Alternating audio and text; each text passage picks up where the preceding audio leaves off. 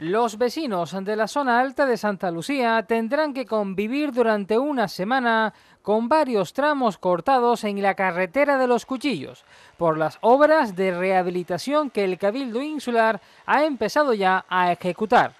Desde este martes 30 de julio y hasta el próximo jueves 1 de agosto, los cortes se realizarán entre Tunte y el pueblo de Santa Lucía, afectando el día 1 a los residentes de Rosiana. Los siguientes cortes se harán el 2, el 6 y el 7 de agosto, desde el casco de Santa Lucía con dirección a la costa, siendo el del día 2 el que más incomodidades se pudieran causar a los santaluceños de la zona alta. El ayuntamiento pide precaución a los conductores durante el tiempo que duren estas obras insulares que tienen el objetivo de mejorar esta importante vía de acceso a la zona alta de Santa Lucía.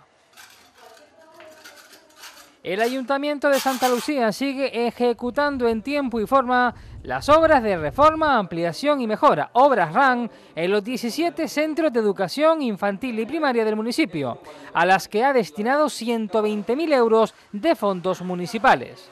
Entre las actuaciones más destacadas de este año figura el construir en este espacio que están viendo del Colegio Tamarán un comedor para todo el alumnado. Estas reformas y mejoras se iniciaron en la segunda quincena del mes de junio y la previsión municipal es que finalicen aproximadamente a mediados del próximo mes de agosto, con el objetivo de que cuando lleguen los profesores para preparar el nuevo curso escolar no tengan que soportar las molestias de las obras y comiencen con normalidad todas las clases.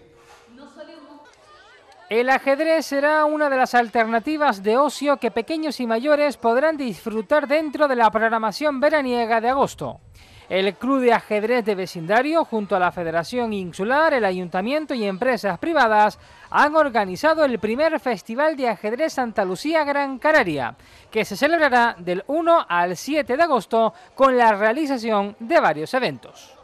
Este viernes 2 de agosto en la Plaza de los Algodoneros se ha preparado una gran simultánea escolar con la participación del gran maestro Dragan Barlov, de la gran maestra femenina húngara Ana Rudolf y del maestro internacional Diego del Rey. Este último además será el encargado de impartir cursos de perfeccionamiento de manera gratuita. También se han realizado otros tres torneos en la sede del Club de Ajedrez La Caja de Canarias de Vecindario, en la Asociación de Vecinos ANSITE, en Vecindario. El 3 de agosto, un torneo de promoción convocado para todas las categorías, desde la sub-8 a la sub-14. Del 1 al 6 de agosto, un torneo Open donde podrán tomar parte todos los jugadores federados que lo deseen. Y del 1 al 7 de agosto, un torneo cerrado, encaminado a la obtención de normas internacionales por parte de los jugadores locales Daniel Gutiérrez Olivares, Alejandro Alvarado Díaz, Omar García Blanco y el palmero José Antonio Herrera Reyes.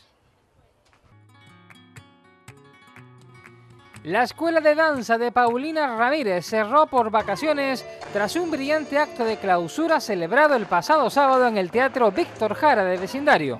Un año más, los alumnos y alumnas de esta academia dejaron patentes sobre el escenario todas las enseñanzas recibidas en los últimos meses, protagonizando un gran espectáculo que a pesar de las casi tres horas que duró, hizo las delicias del público que abarrotó el recinto teatral.